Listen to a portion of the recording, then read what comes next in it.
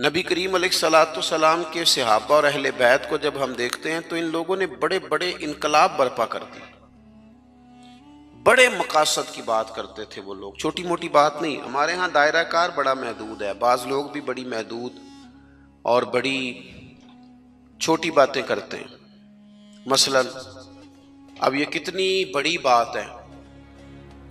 कि कोई आदमी किसी को दीनदार समझे। नबी पाक सलाम के मुसल्ले पे बैठा समझे। कितना बड़ा उसने दर्जा दिया। उसने कहा, यार, ये देखो, ये हुजूर सलाम के दीन का पैगाम देने, कितना बड़ा। उसको दर्जा दिया गया था तो उस बंदे को कितना बड़ा मकसद उसके सामने होना चाहिए था कि मैंने दीन का काम करना। जो कि लोगों ने उसे एक बड़ा दर्जा दिया है। लेकिन अगर वो जेन ये बना ले कि मैं ज़रा देखूँ, जो आने वाला है, वो कुछ आपर लेके आया है कि नहीं? अगर उसका ये जेन बन जाए कि मैंने कहीं जाना है तो कुछ चालीस हज़ार मिलेगा कि नहीं तो इतनी बड़ी तेरी हैसीयत अल्लाह ने बनाई है और तूने बंद कहाँ कर लिया अपने आप? उलमाबिया के वारिस हैं।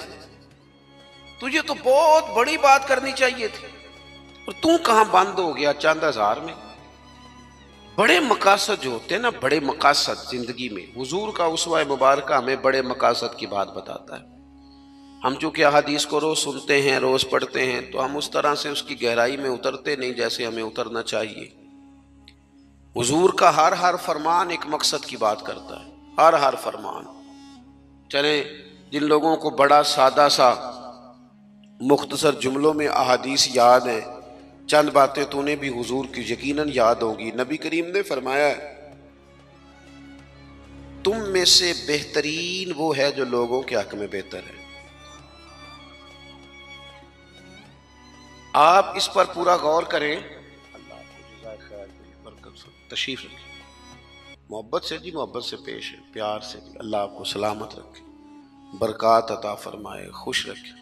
आप सारे मोबाइल ज़रूर चलाएँ, लेकिन सिर्फ़ मोबाइल इन चलाएँ, थोड़ी हमारी भी बात सुने। अल्लाह ताला आपको खुश रखे। थोड़ी सी मेरी बात पर आप तवज्जो देंगे तो मुझे बात करने में आसानी होगी। मैंने चंद एक गुजारिशात आपसे करनी। हुजूर ने फरमाया, तुम में से बेहतर वो है जो लोगों के हक में अब ये एक जुमला हदीस पाक अगर हम सही तरह अपनी ज़िंदगी में नाफिज कर लेना इतना ही। यार, मैंने बेहतर बनना है, अपने बच्चों के हक में भी बहन भाइयों के हक में भी, बीवी और ससुराल के हक में भी ननियाल और ददयाल के हक में भी। मैंने इनका कोई ना कोई नफ़ा करना है। ये हुजूर की एक हदीस इंसान को इतना बड़ा मकसद दे देती है ना।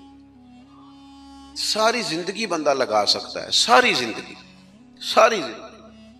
और बामकसद ज़िंदगी हो जाती है, जब ज़िंदगी बामकसद होती है, फिर बंदा बोर बोर भी नहीं होता, परेशान भी नहीं होता, तंग भी नहीं होता। क्या बेमकसद, बेफायदा काम, एक है बामकसद। हज़रत उस्मान गनी रदी अल्लाह तु फरमाते हैं कि हज़रत उम्र फ़ारूक रदी अल्लाह तु का दौर मुबारक था। दोपहर थी और सर, गर्मी बहुत ज़्यादा थी। लोग अपने अपने घरों में आराम कर रहे थे। मुझे किसी मजबूरी के लिए अपने घर की छत पे जाना पड़ा तो मैंने देखा कि एक शख्स बूढ़ा ऊँटों को हाँकता हुआ आ रहा है। मेरे जहन में ख्याल आया कि यार, सारी दुनिया दोपहर को सो रही है, शिद्दत की धूप है, आप भी सो जाते। असर के वक़्त आप ऊँटों को चला लेते। कौन है जो इस वक्त भी कहते मैं कुछ देर रुक गया, लेकिन जैसे ही वो मेरे करीब आए, वो कोई आम आदमी तो नहीं, वो तो हज़रत उम्र फारूक है। रदी अल्लाह आप फरमाते हैं कि मैं झट से सीढ़ियों से नीचे उतरा और मैंने जनाब उमर से अर्ज़ की कि, हजूर, इस वक्त आप फरमाने लगे, ये माल गनीमत के दो ऊँट भाग गए थे, इन्हें पकड़ने गया था। मैंने अर्ज़ की, हजूर, किसी गुलाम से कह देते? फरमाने लगे, मुसलमानों के माल की हिफाजत की ज़िम्मेदारी मेरी है, गुलाम की तो नहीं ना। अब एक मकसद है ना कि मैंने एक ड्यूटी करनी है, मैंने खिदमत करनी है। मैं तलब इलमों से कहता हूँ, उलमा से नहीं तो लबा से। मैं कहता हूँ, आप सारा दिन क्यों शिकवा करते हैं? आप कमेटी की मस्जिद समझ के उसकी खिदमत ना करें, अल्लाह का घर समझ के करें। मस्जिद कमेटी की नहीं होती, मस्जिद अल्लाह ताला का घर होती। अल्लाह का घर जानकर आप उसकी खिदमत करेंगे तो आसानी मिलेगी। मेरी बात पर तवज्जो करें जी। बैठ जाओ बेटा।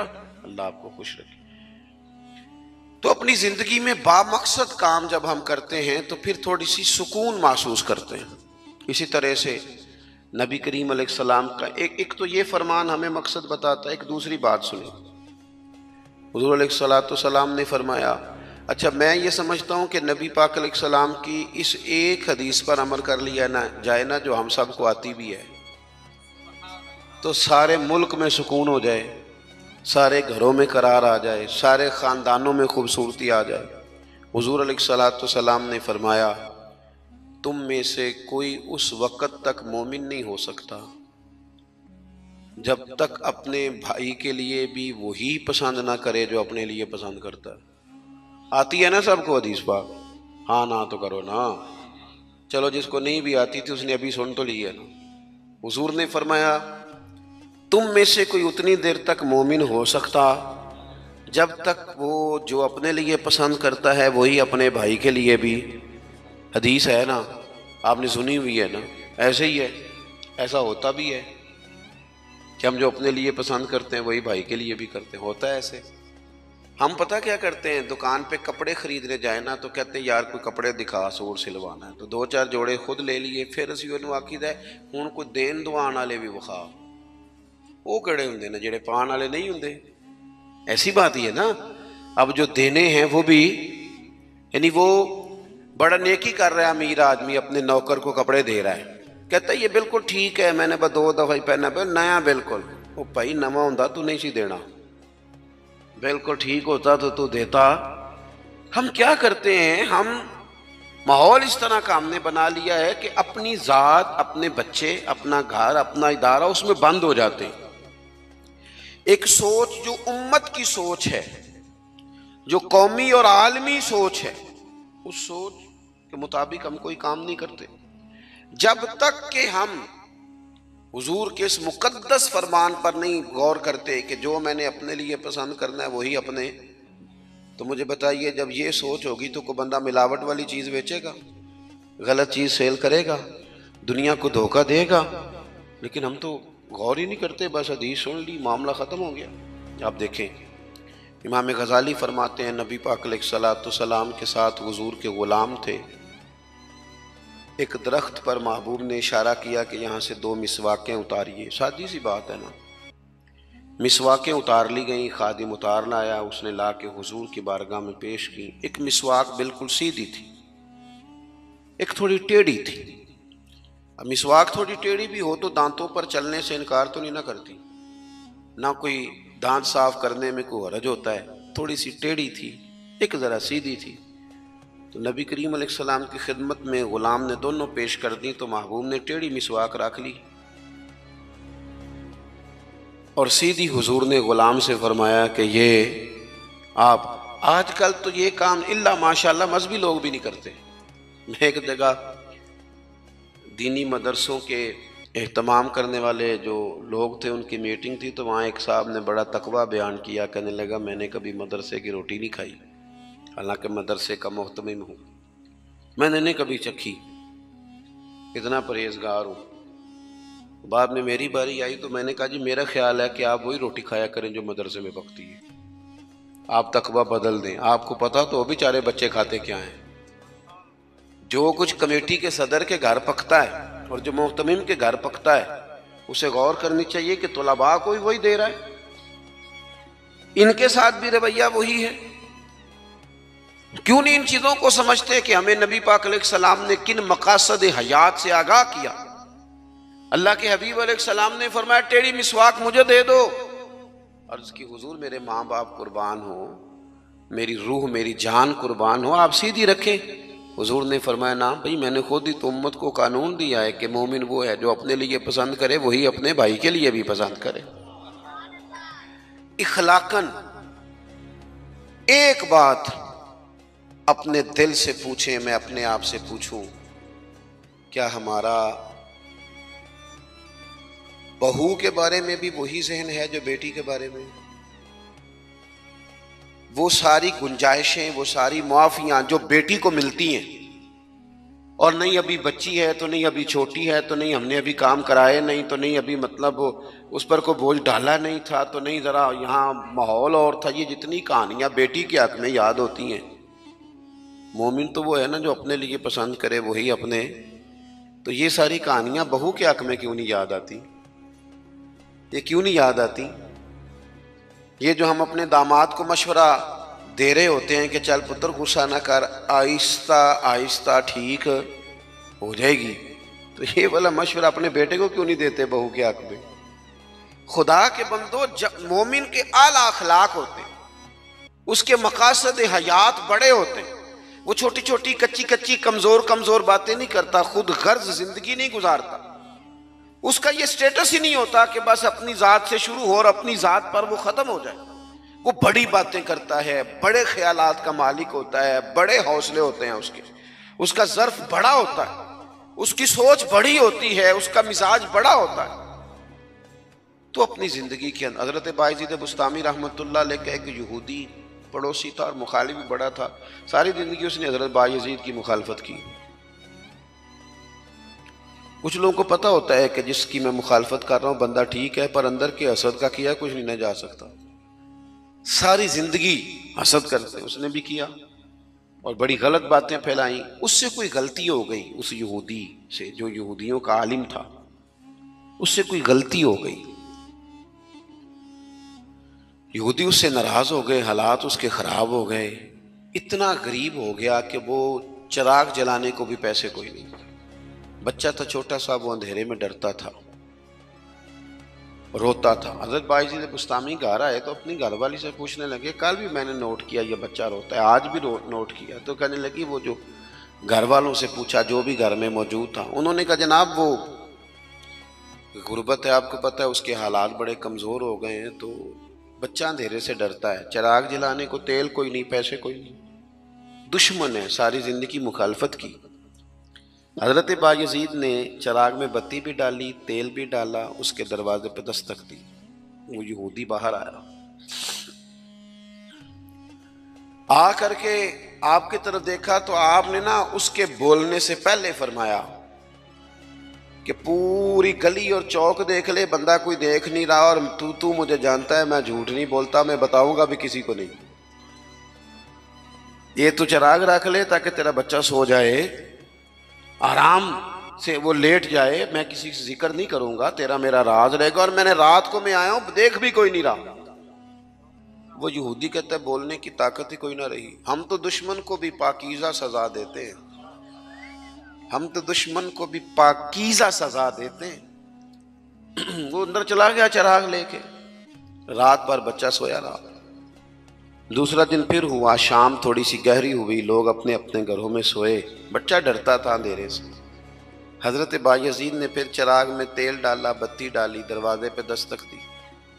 जब वो बाहर आया तो फरमाने लगे, तू देख रहा है कि कोई बंदा मौजूद नहीं और तू तुझे पता है, मैं झूठ भी नहीं बोलता, किसी को बताऊँगा नहीं।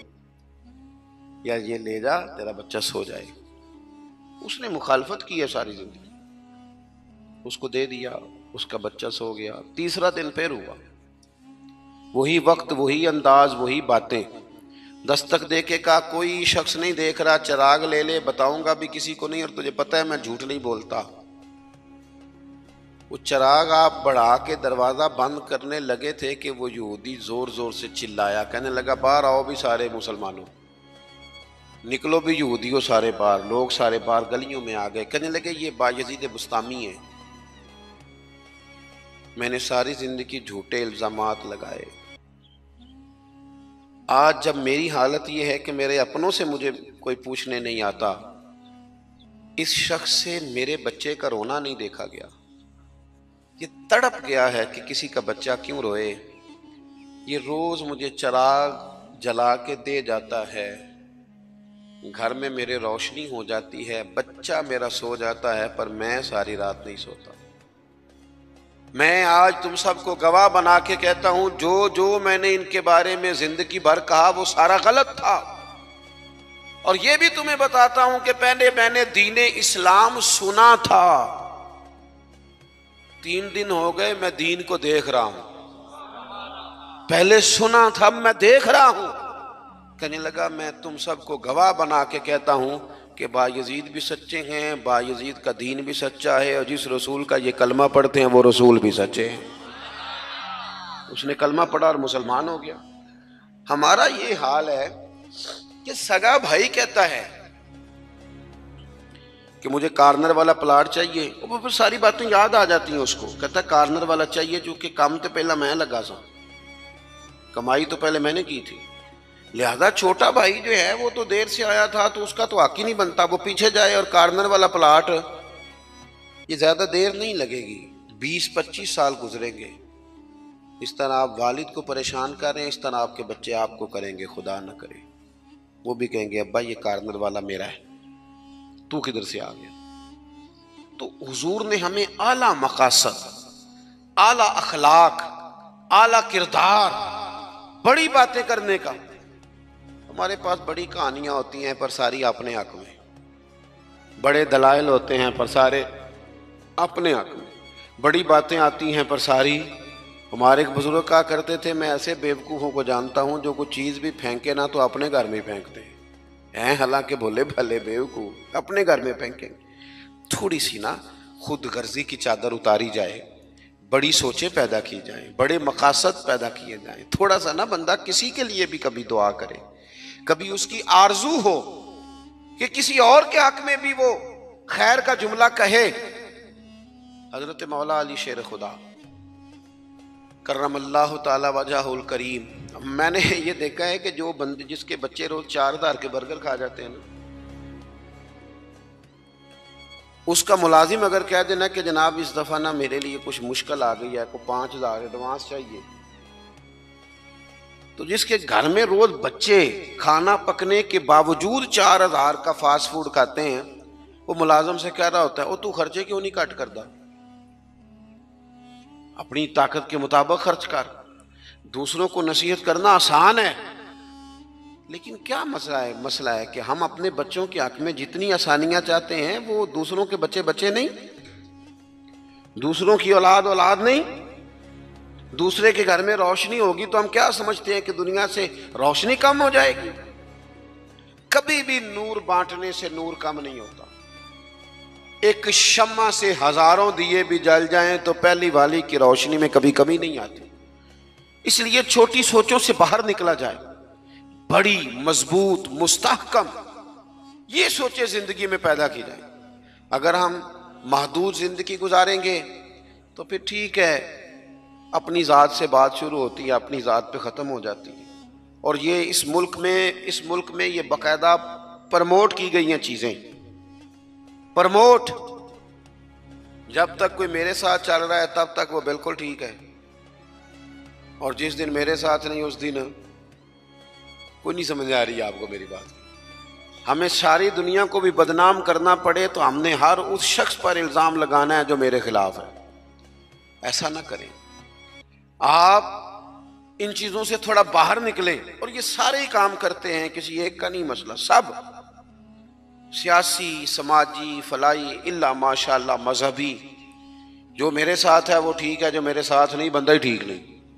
सिरे से बात ही ख़त्म हो गई। वो खुदा के बंदो, ये दावा सिर्फ़ नबियों को सजता है, सिर्फ़ रसूलों को सजता है। बाकी कोई शख्स ये दावा करे तो दावा उसका सौ फ़ीसद गलत।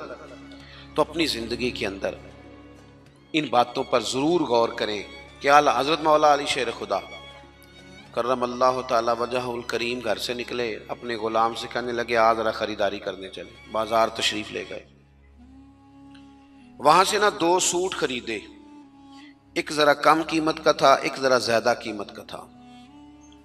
अब वो खरीद के दोनों थैले में डाल लिए। आपका खादिम कहता है, मैं समझ गया, जो महँगा है वो आका का है। और जो सस्ता है वो गुलाम का है। कहते, लेके वापिस आए। वो चौक आ गया, वो जगह आ गई जहाँ से हज़रत मौला अली ने अपने का शाना नूर पे जाना था और मैंने अपने घर जाना था। कहते हैं, हज़रत मौला कायनात फरमाने लगे, ज़रा मेरे वाला जोड़ा मुझे देना। कहते, मैंने वो महँगा वाला निकाल के हज़रत अली को पेश किया तो फरमाने लगे, ये नहीं मेरा। मेरा तो वो दूसरा है। मुझे बताएँ कि रोब कपड़ों का होता है कि किरदार का? बोलिए। हाँ। दस लाख का जूता हो और बीस लाख का जोड़ा हो डेढ़ करोड़ की पजारो हो और जनाब बीस करोड़ का घर हो, पर पैसे हो करप्शन के। तो लोग कोठी के दरवाजे पे खड़े होकर कह देते हैं, गलत माल है इसके पास। बंदा ठीक नहीं। जूते टूटे हुए हों, कुर्सी और मेज़ पुराना हो, छोटा सा अफसर हो लेकिन दयानतदार हो तो बड़े बड़े मालदार भी दरवाजे पे खड़े होकर कहते हैं यार बंदा बड़ा खरा है ना पैसे पकड़ता है ना किसी की सिफारिश मानता है।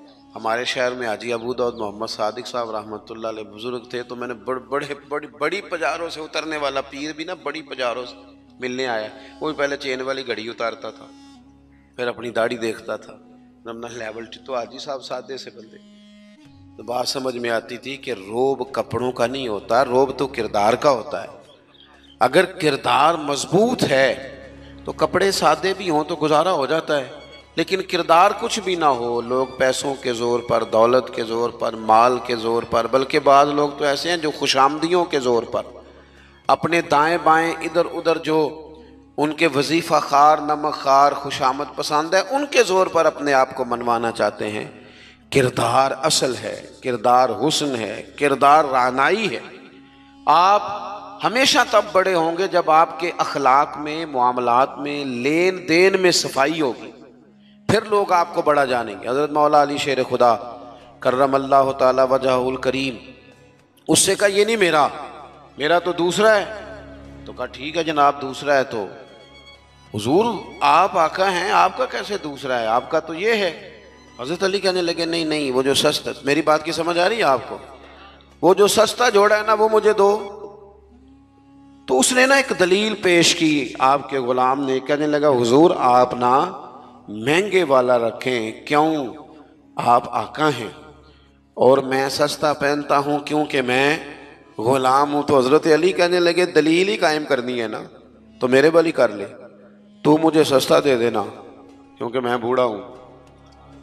और तू महँगा पहन ले चुके तू जवान है? अगर किसी दलील की बुनियाद पर ही लिबास पहनना है तो चलो इस तरह करो, ये वाली दलील कायम कर लो कि बूढ़ों पर सस्ता भी चल जाता है। और जवानों के लिए ज़रा कपड़े महँगे हों, ज़रा अच्छे नए और डिज़ाइनों के हों तो ज़रा जवान खुश होते हैं। तो थोड़े से ना बड़ा दिल हो, ज़रा बड़ा ज़रफ हो, ज़रा हौसला बड़ा हो, ज़रा सोच बड़ी हो, ज़रा इंसान का मैार बड़ा हो। यही बात बाद में हुजूर के सहाबा में आई। आप देख लें हज़रत उमर को। देखें हज़रत उस्मान को। और खलीफा अव्वल बिला फ़सल, हज़रत अबू बकर सिद्दीक को। हज़रत मौला अली शेर खुदा को। इन लोगों ने बड़ी बड़ी बातें की। बड़ा हौसला था इन ये हमेशा इनकलाबी बातें। हज़रत उस्मान गनी। उनका माल आया पड़ा है। अब हमारे यहाँ तो लोग मसनू किल्लत भी पैदा कर लेते हैं। लेकिन माल आया हुआ है। किल्लत के कहत के दिन हैं। आके ताजरों ने कहा, हज़रत उस्मान गनी से, कि आप जितने का ख़रीदा है ना, हम तहकीक भी नहीं करते, डबल ले लें। हमें दे दें। हज़रत उस्मान कहने लगे, मुझे ज़्यादा नफ़ा मिलता है। उन्होंने कहा, तीन गुना ले लें। कहने लगे, ज़्यादा मिलता है। चार गुना ले लें। फिर मैं ज़्यादा मिलता है। कहने लगे, इससे ज़्यादा हम नहीं दे सकते। वो बंदा बताए जो ज़्यादा देता है। हज़रत उस्मान गनी कहने लगे, मुझे तो सात सौ गुना की उम्मीद है। जनाब, किस तरह? तो हज़रत उस्मान ने मस्जिद में ऐलान करवाया या किसी ज़रिए से लोगों तक पैगाम पहुँचाया कि जो गरीब गंदुम नहीं ना खरीद सकता, वो आके ले जाए। आके ले जाए ना? फरमाया, मुझे रब की बारगाह से सात सौ गुना की उम्मीद तो बड़ा दिल हो, बड़ा हौसला हो, बस बात ख़त्म करने लगा हुजूर की जो औलाद पाक है, उसका भी यही मिजाज है। ज़िंदगी भर सखावतें, लोगों पर मोहब्बतें, उन लोगों का दरगुजर, उन लोगों का अपने लिए नहीं, उन्होंने जब भी सोचा, नबी करीम की सारी उम्मत के लिए सोचा। हज़रत इमाम हसन रदी अल्लाह तु फरमाते हैं, मेरी वालदा सैदा तय्यबा ताहिरा, हज़रत फ़ातमत ज़हरा रदी अल्लाह तला तो जब दुआ मांगती थी, तब भी हुजूर की सारी उम्मत के लिए मांगती थी। उनकी दुआओं में भी, बड़े दिल के साथ, बड़े हौसलों के साथ, बड़ा एजाज के साथ बैठे रहते इमाम हुसैन। बड़ी शानें थी, सब कुछ था, लेकिन उन्होंने घर छोड़ा, कबीला छोड़ा इसलिए कि दीन की वो बुनियादें, जिनको कमज़ोर करने की कोशिश की जा रही थी, वो कहीं कमज़ोर हो ना जाए। वो आगे बढ़े। एक लाख दिनार आया हजरत इमाम हुसैन के पास सवेरे कितना चलो आपस गल करने आपस ਲੱਖ ਰੁਪਇਆ ਕੋਲ ਹੋਵੇ ਤੇ ਮਸੀਤੇ ਦੇਣੇ ਪੈ ਜਾਂਦੇ ਕਿੰਨੇ ਦੇਈ ਦੇਣੇ ਵਿੱਚੋਂ ਆਪਸ ਦੀ ਗੱਲ ਹੈ ਨਹੀਂ ਦੱਸਦੇ ਕਿਸੇ ਨੂੰ किन्ने मसलन चले बड़ा कोई जोर लगाएगा तो पाँच हज़ार दे देगा पाँच हज़ार और ज़रा कभी किसी जगह पे कमज़ोरी आए ना, कोई माली तौर पे तो सबसे पहले लोग वो पैसे बंद करते हैं जो मस्जिद जाते हैं या किसी गरीब की तरफ़ जाते हैं, कहते हैं, हाथ तंग है। सबसे पहले एक लाख दिनार इमाम हुसैन के पास आया। ज़ोर के वक़्त पैसे आए। असर से पहले पहले पाक महबूब के पाक नवासे ने सारे बांट दिए। सब बांट दिए। सारे। शहजादे अर्ज़ करने लगे, हुजूर, आपका कुर्ता पुराना हो गया था। कोई एक दो दिनार रख लेते तो कुर्ता नया ले लेते। फरमाने लगे, अगर तू पहले याद कराता तो मैं सोचता। यही नहीं कर रख लेता। तू पहले याद कराता तो मैं गौर करता। मेरे अज़ीज़, थोड़ा सा ना दिल बड़ा करे। हम ना, हमने अपने बच्चों को सिखाया कि कारदा सोच। कुछ अपने कारदा सोच, उनसे कभी कभी ये भी कहा करो, बेटा मिल्लत का सोच, मज़हब का सोच, वतन का सोच, कबीले का सोच, बड़ा दिल कर, बड़ी बात कर।